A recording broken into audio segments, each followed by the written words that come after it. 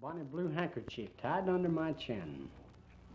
As I was a walking one morning in May, I spied a pretty damsel came tripling o'er this way.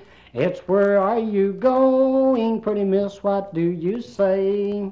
I'm a going to yonder's factory with the cotton and wool to spend with my bonny blue handkerchief tied under my chin with my bonny blue handkerchief tied under my chin.